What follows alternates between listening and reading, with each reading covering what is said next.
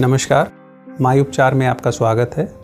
मैं doctor Shailendra Kumar Goyal, urologist, sexologist, kidney transplant surgeon और robotic surgeon हूँ। आज मैं आपको मास्टरबेशन के बारे में बताना चाहूँगा। मास्टरबेशन एक बहुत कॉमन समस्या है और इसके साथ बहुत सारी भ्रांतियाँ जुड़ी होती हैं और बहुत सारे युवा लोग इससे प्रभावित रहते हैं। मास्टरबेशन यदि मैं परिभाषित करूँ तो इसमें अपने ही सेक्सुअल अंगों को, अपने ही द्वारा अपने हाथ से या और किसी साधन से उत्तेजित करना और ऑर्गेज़म को प्राप्त करना।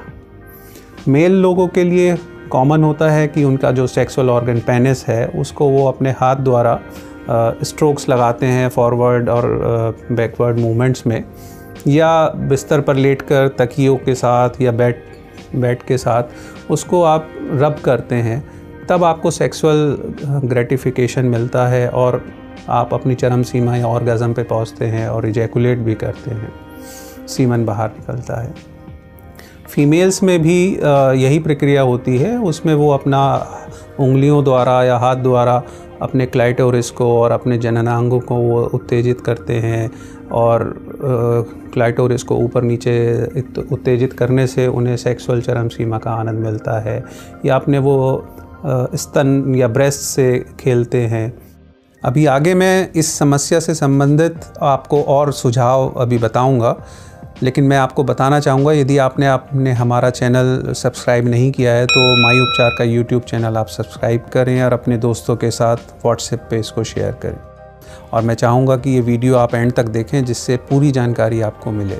मास्टरबेशन एक नॉर्मल स्वाभाविक प्रक्रिया है। जिन लोगों की शादी नहीं हुई और जिन लोगों के कोई सेक्सुअल पार्टनर नहीं है तो वो मास्टरबेट करते हैं। मास्टरबेशन के बारे में कहा जाता है कि आलमोस्ट 99 परसेंट लोग मास्टरबेशन करते हैं, लेकिन 100 परसेंट लोग डिनाई करते हैं।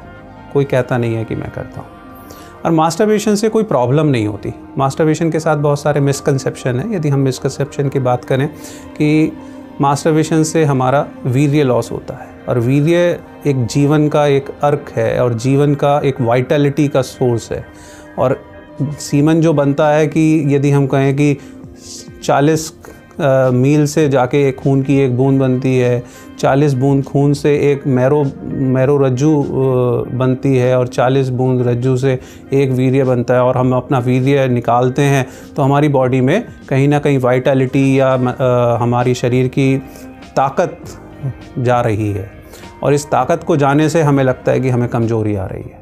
दूसरा एक और है कि हम मास्टरबेट करते हैं तो हमारे हा, हाथ की लकीरें पेनिस पे जाती हैं और उसकी वजह से पेनिस के ऊपर वेंस प्रोमिनेंट हो जाती हैं और उसकी नसें ख़राब हो जाती हैं।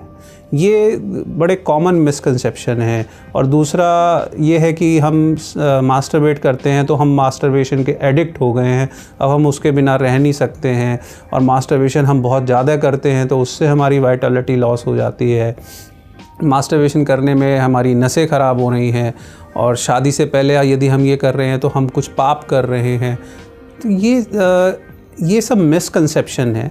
दूसरी बात ये कहती है कि पेशेंट हमारे पास जो आते हैं वो कहते हैं नहीं सर हमें तो प्रॉब्लम हो रही है हमें तो कमज़ोरी हो रही है। आप कह रहे हैं मिसकंसेप्शन है।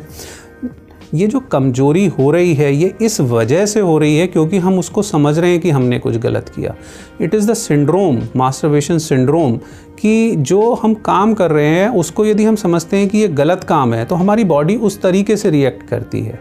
तो बॉडी का रिएक्शन सांस फूलना, घबराना हार्ट का, दिल का धड़कना पेल्पिटेशन होना तो बॉडी कैसे रिएक्ट करती है? ये हम सोचते हैं कि हम जैसे सोचते हैं उस एक्ट को है तो यदि हम मास्टरबेशन को सोचते हैं कि हमने गलत काम किया तो हमारी बॉडी उसी ढंग से रिएक्ट करती है। हमारे कमज़ोरी आएगी, हमें सूखेंगे, हम डिप्रेस होंगे, हमारे जबान सूखेगी, दिल धड़केगा, पेट में दर्द होगा एसिडिटी होगी कॉन्स्टिपेशन होगा, ये सब चीज़ें हमें होंगी। क्योंकि बॉडी हमारी रिएक्ट करती है हमारे मेंटल स्टिमुलेशन को, हमारे दिमाग को बॉडी हमारी रिएक्ट करती है। लेकिन मास्टरबेशन से मैं ये कहूँगा कोई प्रॉब्लम नहीं होती। अब बात आती है कि कितना फ्रीक्वेंट करना चाहिए, ऐसी कोई लॉजिकल सीक्वेंस नहीं है कि हम कहें कि डेली करना चाहिए या साल में एक बार करना चाहिए या महीने में एक बार करना चाहिए। लेकिन मैं मेडिकल पॉइंट ऑफ़ व्यू से कहूँ कि वीर्य जब आप जवान हो रहे हैं, आपके हार्मोन एक्टिव हैं तो आपका वीर्य बनना शुरू हो गया तो वो वीर्य बाहर आना चाहिए। यदि वीर्य अंदर रुकेगा तो वो इन्फेक्शन करेगा। तो वीर्य बाहर आने के जो शादीशुदा लोग नहीं हैं, जो शादीशुदा हैं, वो सेक्स कर रहे हैं, उनका वीर्य वैसे निकल जाता है। और जो शादीशुदा नहीं है तो उनके लिए जो नॉर्मल कॉमन थिंग है, वो मास्टरबेशन है। मास्टरबेशन से वीर्य निकलना चाहिए। और नहीं निकलता है तो नाइट फॉल में निकल जाता है, या नहीं, फिर तो यूरिन के साथ मिक्स होकर आता है, जिसको हम धात कह देते हैं। तो वीर्य निकलना ज़रूरी है, क्योंकि वीर्य जो बन रहा है वो नहीं निकलेगा तो अंदर वो प्रोस्टेट ग्लैंड में इकट्ठा होगा और वो वहाँ पे इन्फेक्शन करेगा। और कॉमन कारण जो यंग लोग हमारे पास इन्फेक्शन के साथ आते हैं, वो इस वजह से आते हैं कि क्योंकि वो सीमेन को बाहर नहीं निकाल रहे हैं, जिसको हम एब्सटीनेंस कहते हैं, कि वीर्य को रोक के रखते हैं। मास्टरबेशन करना, मैं तो कहूँगा कि करना चाहिए। उसको करने से कोई प्रॉब्लम नहीं होती, लेकिन हाँ उसको करने के साथ उसको अपना पाप, सिन या डिप्रेशन या और चीज़ उसके साथ अटैच नहीं करें। Masturbation is a healthy thing और इससे प्रॉब्लम केवल उन्हीं को होती है जिनको इसके बारे में प्रॉपर ज्ञान नहीं होता। या दूसरी चीज़ होती है कि मीडिया आज की तारीख में मीडिया एक बहुत सशक्त साधन है किसी भी चीज़ को प्रमोट करने के लिए या, लेकिन इसका एक डिसएडवांटेज भी है कि कई बार कुछ लोग इसका फ़ायदा उठा के जो सो कॉल्ड हमारे ही प्रोफेशन में जो लोग युवाओं का इन धारणाओं की वजह से उनसे पैसे ऐंठना चाहते हैं और उनको गलत यूज़ करना चाहते हैं तो उनको कहते हैं तुम्हें तो ये बीमारी हो गई और अब तुम्हें नहीं करना चाहिए। और वो उसको और उसको सिन के साथ अटैच करते हैं और उसको दवाइयाँ अल्टीमेटली बेचते हैं और उससे पैसे कमाते हैं। तो कहीं ना कहीं ये कुछ आ, हमारे जो सो कॉल्ड झोला छाप डॉक्टर और जो युवाओं से जो पैसा लूटना चाहते हैं वो इस चीज़ को और प्रमोट करते हैं कि ये चीज़ एक पाप है। और इसे नहीं करना चाहिए। बट मेडिकली मैं ये कहूँगा एज ए प्रोस्टेट सर्जन और एज ए यूरोलॉजिस्ट और सेक्सोलॉजिस्ट क्वालिफाइड सेक्सोलॉजिस्ट की इस मास्टरबेशन से कोई दिक्कत नहीं होती है। ऐसा माना जाता है कि महिलाएँ मास्टरबेट या हस्तमैथुन नहीं करती हैं, बट ऐसा नहीं है। एक जब प्यूबर्टी या एडोलोसेंस जिसको कहते हैं कि जब यौन यौनत्व प्राप्त करते हैं तो उनके भी हार्मोन एक्टिव होते हैं और वो भी कहीं ना कहीं अपने जननांगों को अपने हाथ से या बिस्तर से, तकिए से रगड़ के कहीं ना कहीं अपने अंगों को उत्तेजित करते हैं और मास्टरबेट करते हैं। एक शोध में ये भी कहा गया है कि मनुष्य अपना जो वीर्य निकालता है, साल में यदि 300 बार से ज़्यादा निकालता है तो वो स्वस्थ रहता है और उसको भविष्य में प्रोस्टेट कैंसर वगैरह नहीं होते हैं। तो यदि साल में हम 300 की बात कर रहे हैं तो आलमोस्ट डेली या अल्टर डेली की बात आ जाती है। तो मास्टरबेशन करने में कोई दिक्कत नहीं होती है और इससे एडिक्शन वाली बात आती है। ये एडिक्शन नहीं है, ये स्वाभाविक प्रक्रिया है। तो इसके लिए परेशान होने की ज़रूरत नहीं है।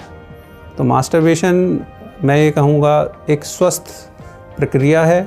सब लोग करते हैं, लेकिन इसके साथ अपने पाप और इसके साथ अपना डिप्रेशन और गलत चीज़ों को हम जो मानसिक रूप से हम जोड़ लेते हैं, वो गलत। तो एक बार मैं यही संदेश देना चाहूँगा कि मास्टरबेशन गलत नहीं है और इसके साथ हम अपना कोई गलत भाव या जो हमारे समाज में मिसकंसेप्शन है, उसको हम ध्यान ना दें और मास्टरबेशन करना हेल्दी है। और इससे हम अपना एक मेंटल टेंशन जो हमारी जो सेक्सुअल एक टेंशन होती है, वो जब हमारी निकलती है तो हम अपने ज़िंदगी में अच्छा करते हैं। तो एक तरीके से हम अपने को मानसिक बीमारियों से बचाते भी हैं। मैं समझता हूँ कि ये आज का हमारा वीडियो आपके लिए जानकारी पूर्वक रहा होगा और आपको ये अच्छा लगा तो आप, मैं चाहूँगा कि हमारे यूट्यूब के माई उपचार चैनल को आप सब्सक्राइब करें और इस वीडियो को लाइक करें और शेयर करें अपने दोस्तों के साथ और व्हाट्सएप पे शेयर कर सकते हैं आप ज़रूर। और आपके कोई कमेंट हैं या आप कुछ पूछना चाहते हैं तो आप अपने कमेंट बॉक्स में हमें लिख कर भेजें हम उसका जवाब देंगे। धन्यवाद।